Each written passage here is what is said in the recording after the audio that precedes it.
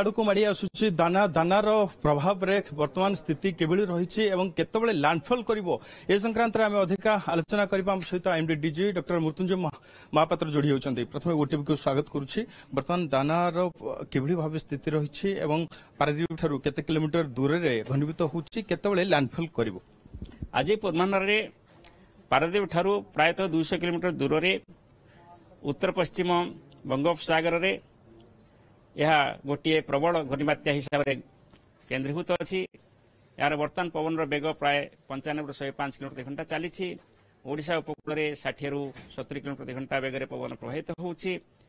ଏହା ଧୀରେ ଧୀରେ ଉତ୍ତର ଉତ୍ତର ପଶ୍ଚିମ ଦିଗରେ ଗତି କରି ଆଜି ମଧ୍ୟରାତ୍ର ଏବଂ କାଲି ସକାଳ ମଧ୍ୟରେ ଓଡ଼ିଶା ଉପକୂଳକୁ ଏବଂ ନିକଟସ୍ଥ ପଶ୍ଚିମବଙ୍ଗ ଉପକୂଳକୁ ପୁରୀ ଏବଂ ସାଗରଦ୍ୱୀପ ମଧ୍ୟରେ ଭିତରକନିକା ଏବଂ ଧାମରା ପାଖାପାଖି ଅତିକ୍ରମ କରିବ।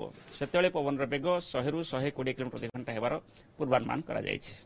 ଲ୍ୟାଣ୍ଡଫଲ୍ ପରେ କିଛି ମୋଡ଼ ପରିବର୍ତ୍ତନ ହୋଇପାରେ କି?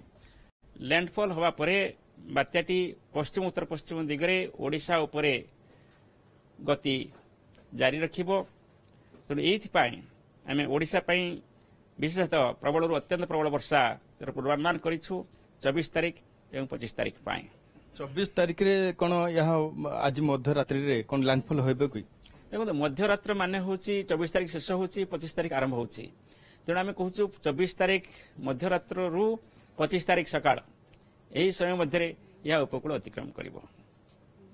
ନିଶ୍ଚିତ ଭାବରେ ଦେଖନ୍ତୁ ବର୍ତ୍ତମାନ ଦାନା ବର୍ତ୍ତମାନ ଯେଭଳି ଭାବେ ଘନୀଭୂତ ଅଧିକରୁ ଅଧିକ ହେଉଛି ଭୀଷଣ ବାତ୍ୟାର ରୂପ ନେଉଛି ଏବଂ ଆଜି ହୁଏତ ମଧ୍ୟରାତ୍ରିରୁ ତାର ଲ୍ୟାଣ୍ଡଫଲ୍ ପ୍ରୋସେସ୍ ଆରମ୍ଭ ହୋଇଯିବ।